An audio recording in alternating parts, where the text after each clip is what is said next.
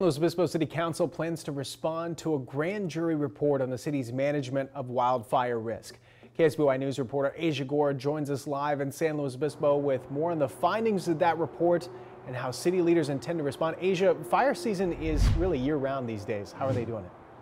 Absolutely, Dustin. Good morning. Uh, when it comes to that report, the grand jury report issued back in June, the city of San Luis Obispo received two recommendations for mitigating its risks of wildfire. But the chief of the fire department here says they're already working to get those recommendations into place.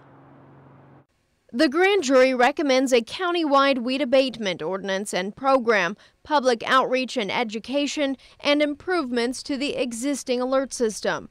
The report claims the city of San Luis Obispo underutilizes its reverse 911 system to alert residents of danger. And the grand jury also recommending the city of San Luis Obispo develop a chipping program to eliminate fire fuels. So we have identified uh, several areas in the community that could be challenging in the event of evacuation uh, during a wildfire. Uh, some areas up in uh, Bishop's Peak as well as uh, Irish Hills uh, and in the Johnson area could be challenging if we had a large wildfire with a lot of heavy smoke that could block the visibility of those people that are trying to evacuate. According to the grand jury report, information about the city's evacuation plan is not readily available to the public and could create confusion for residents if disaster strikes. Aggson says his department is working on improvements to the evacuation plan.